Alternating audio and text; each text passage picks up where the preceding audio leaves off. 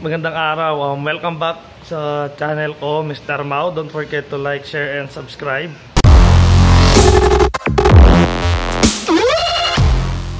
Um, ituturo ko paano ko nilagay itong Puma throttle, quick throttle, or racing throttle na tinatawag. Tsaka yung slim switch.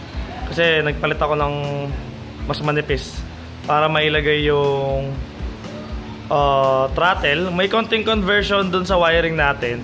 Um, gusto ko lang din pala i-shout out si um, Paps Doc M Motoplug uh, for assistance sa vlog na to.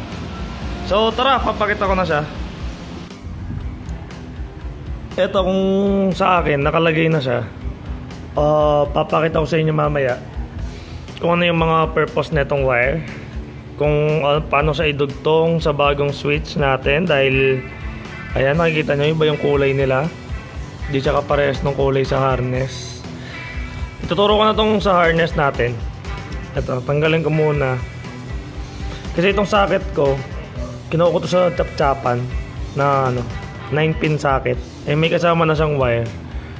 So ako na lang yung nahirapan nag-trace pero mamaya papakita ko kung gaano kadali ilalagay ito. Ito yung sa harness natin. Itong dalawang itim na makikita nyo positive yan. Yung isa papuntang starter yung isa papuntang kill switch. So kahit pag nag-tap kayo kahit magkabaliktad to walang problema. Pero kailangan magkahiwalay sila ng wire itong nakikita nyong white brown saka itong solid brown. Yung isa dito park light. Yung isa speedo light. Yung kulay red at saka red I'm sorry kulay red at saka white sa speedo natin o kaya minsan blue pwede nyo palitan. Ayan.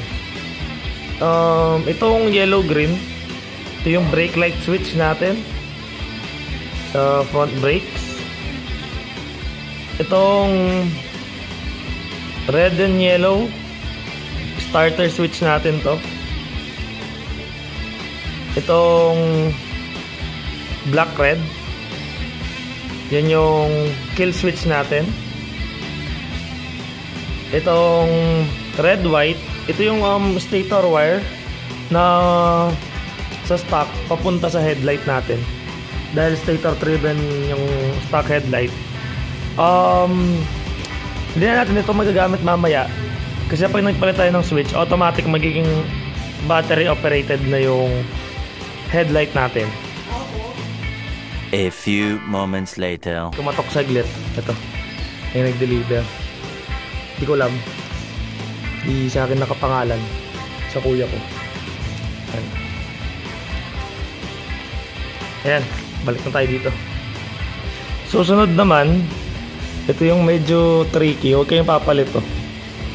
Itong isang nakalabas sa sakit na nakahiwalay sa harness natin itong blue yellow ito yung headlight natin na kapag wala itong connection sa right hand switch hindi aandar ang high low natin so ito gagamitin natin to para sa headlight switch at magiging battery operated na siya kasi ito, pupunta ito doon sa left hand switch natin. Pakita ko yung socket niya. Ayan siya. Parehas sila. Parehas na parehas. Ayan. So, ito. Gagamitin natin to sa headlight switch natin. Um, papakita ko na yung mga purpose ng kada kulay na to. Itong sa bagong switch. Tapos, uh, papakita ko kung gaano kadali i-wiring. Kasi pinutol ko na yung stock wires ko. Ginamit ko yung stock socket. Tapos, nakalagay na rin doon. Meron tayong diagram. Kung anong kulay yung kaparehas niya sa stock harness natin. Tara na. Ayan, ito. Um, gumawa ko ng sample socket na pwedeng kopyahin nyo na lang yung pagkakawiring nito para di kayo mahirapan. Ito, um, nagputol ako ng, pinutulan ko yung wires nung stock natin dahil ito yung socket niya para makuha niyo yung guide kung saan idudugtong dun sa bagong switch natin so i-review ko lang kung ano yung purpose ng mga kulay ng wire kada wires galing harness.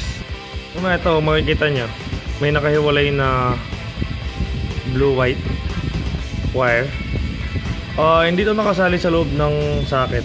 Ito yung wire ng ating headlight. Next is yung dalawang positive line na galing harness.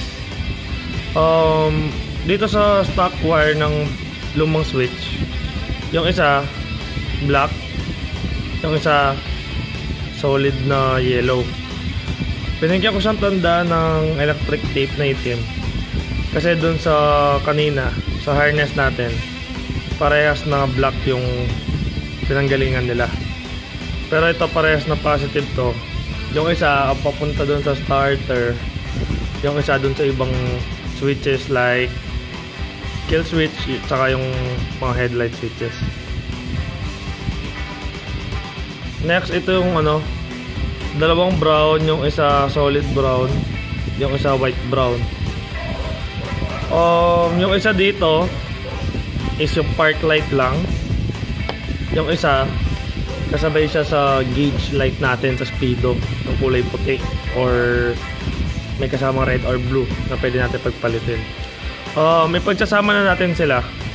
Ayan nakikita nyo dahil mag iisa na lang yung switch nila sa bagong switch natin.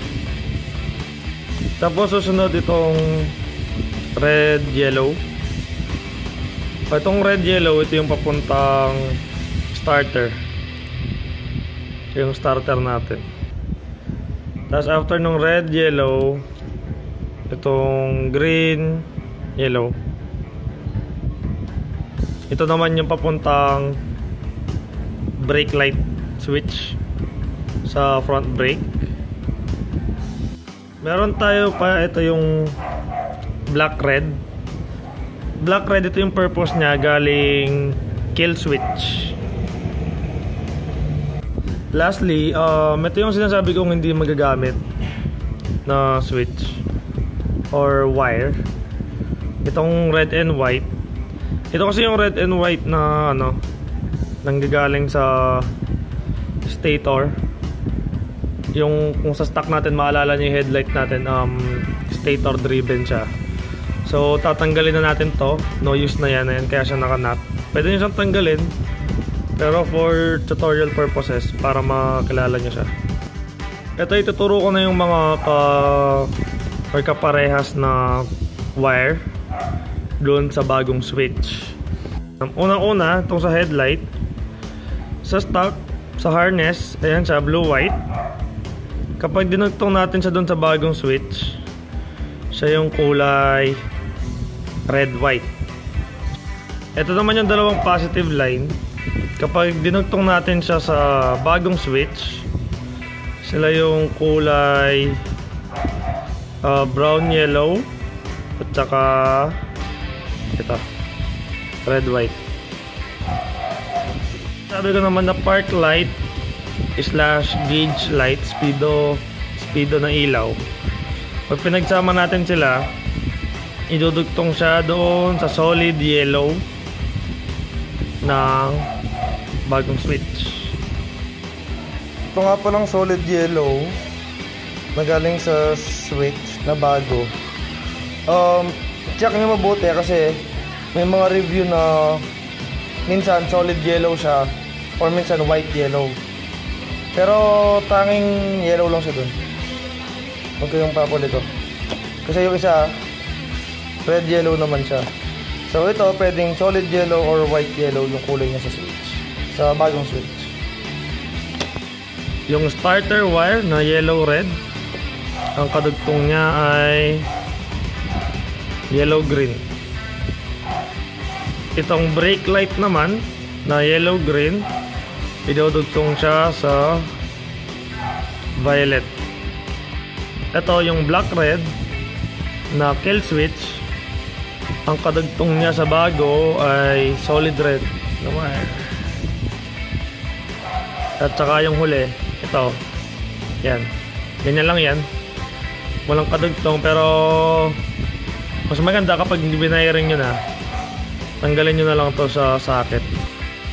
So ayun um, bibigyan ko kayo ng diagram nitong wiring na to. Para pwede nyo siyang kahit screenshot makakuha nyo yung guide ng ating wiring sa bagong socket.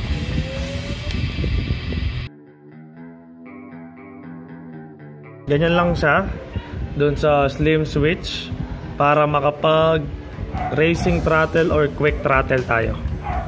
Yun naman yung papakita ko kung paano ko siya ginawa gamit yung stock cable ayun ganun lang yung sa slim switch conversion natin. Kasi ba't ba tayo nag-convert ng slim switch? Kasi maglalagay ako ng quick throttle or tinatawag na racing throttle. Yung racing racing daw. Ayun. kasi malalim yung stock natin eh. Kung bumibira ka kawawa yung kamay mo. Bakit ba siya tinawag na quick throttle or racing throttle eh yung loob niya. Makikita niyo. Dito pa lang. Naka-advance na yung wire natin. Or yung uh, cable natin. Gas cable. Ito yung UMA. UMA. Ano ba? Ayan. UMA racing throttle. Ano yan? Uh, aluminum so tapos itong throttle niya mismo plastic kasi yung mga alloy na throttle madali magka corrosion yun So I highly suggest kung hindi nyo trip tong UMA, hanap kayo yung plastic yung throttle niya mismo. Para smooth lang yung gas natin, hindi tayo naiipitan, hindi nadudunan na madalas. Kasi niya, meron pa siyang switch actually dito. Pwedeng gamitin yung starter to sa mga ibang motor, pero dahil may switch na ako dito, starter. Hindi ko na ginamit. Disregard ko na lang to. Itatabi ko na lang siya. Reminder lang, pag maglalagay kayo ng cable dahil stock gamit natin make sure na maluwag lahat yan naka-adjust siya dun sa pinakamaluwag niya Ayan, nakasagad same thing din dun sa card natin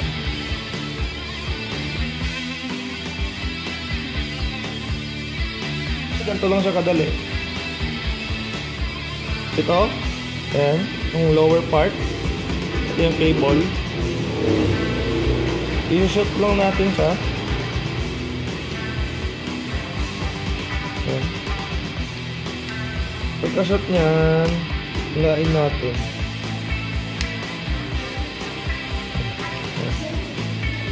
Tapos, itong tornilyo sa baba. I-adjust lang natin siya. Siyempre, pinakauli, yung cover niya, mga parts, mga karusin. Napakadali. Stock cable, walang pagpapalit. Unless, kung nakapalit ka na ng card. Natural, iba yung cable mo. Make sure na uubra siya dito. Most likely yung gamit namin sa mga conversion. Kasi may mga iba kami motor na uh, convert Pwede nyo gamitin ano, uh, yung Supremo throttle. May adjust yun eh. May adjustan siya. Uh, para sa mga naka quick throttle at saka mga naka racing car, mga racing racing dyan. Ayan siya.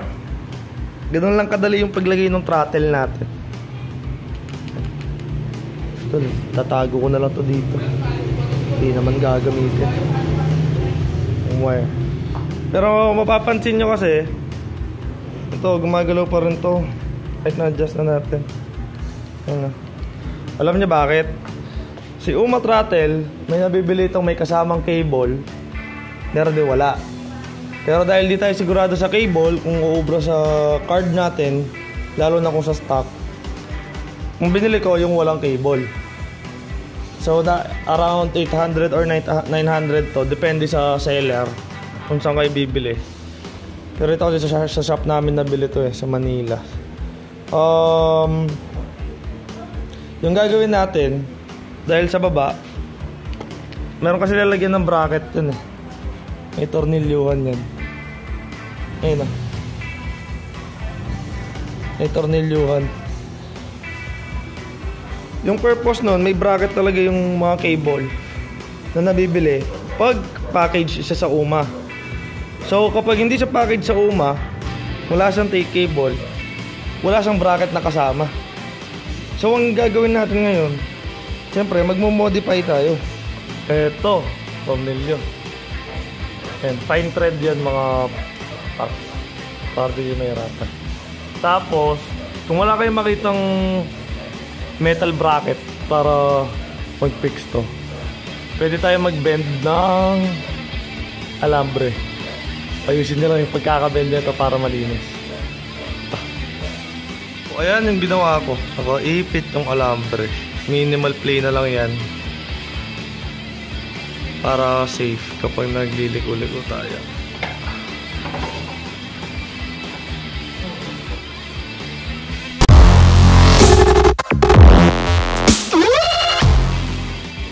Mission on. Pero naka-off yung makina natin. Dahil sabi ko, battery operated na ang headlight. Wala tayong problema doon kahit hindi tayo nag-relay. Kasi, kahit sa mga ibang motor, especially um, Kimco Like 125, if alam nyo yan, age 4 headlight yan, hindi yan LED, pero ang stock niyan, battery operated. Meron kami niyan, so tested ko na. Ah, tiwala ako dito na hindi to masusunog, dito mag-iinit. So, ayan. Ayan yung park light or gauge light.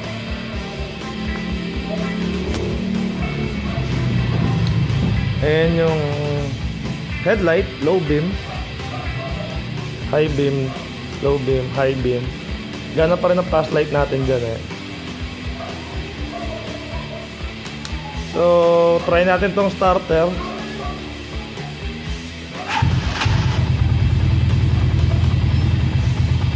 Yan. Yung throttle. Tingnan yung galaw ng throttle ko.